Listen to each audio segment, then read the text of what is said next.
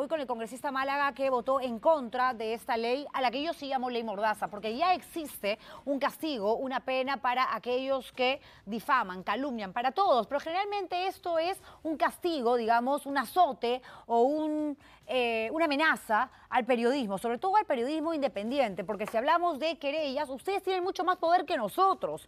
Nosotros somos ciudadanos comunes y corrientes que informamos, opinamos, investigamos. Y ya ha pasado con Daniel Llovera, ha pasado con Christopher Acosta, ha pasado con un montón de periodistas que claro, se han visto inmersos en procesos que los desconcentran de sus trabajos, tienes que buscar abogados que te representen y al sumar penas al delito de, o años, al delito de difamación, también hacen que el tiempo de prescripción crezca. Entonces te van a tener más de seis años yendo, viniendo al Ministerio Público, al Poder Judicial. ¿Para qué? Para agotarnos, para que ya no hablemos. Yo por lo menos lo veo, lo entiendo de esta manera. Y qué subjetivo, ¿no? Porque para lo que usted de repente es una calumnia, una difamación, para mí es parte de mi derecho de expresarme libremente. Y usted que habla tanto de la Constitución y del Estado de Derecho debería de saber que el principal cimiento de una democracia es justamente la libertad de prensa. Congresista Málaga, no sé qué opina usted al respecto. Bueno, primero quería zanjar el tema de los niños. El Parlamento no es una corte de justicia, Juliana. Ese es el punto. Ahí no se va a juzgar a nadie.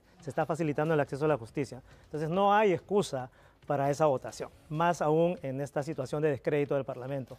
Con respecto a la ley Mordaza, lo que yo eh, sostuve en el Parlamento, le pregunté al colega Montalvo, de quien se han ocupado muy poco los medios, que es el autor realmente de este bebé. no nos quiere dar entrevistas. Ah, bueno.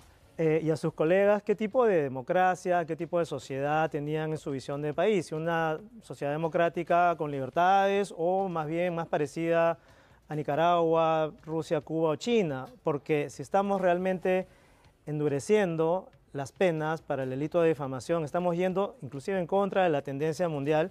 Y quién no de nosotros, Juliana, ha sido sujeto u objeto de alguna de estas prácticas difamatorias por algún medio, con o sin intención, a ti misma te ha pasado y no por eso desde el Congreso vamos a abusar del poder que nos ha dado la ciudadanía para vengarnos, para retaliar. Ha tocado un punto importante, ¿no? El abuso de poder, porque aquí, por ejemplo, hay una congresista a difamarme, a decir mentira y media.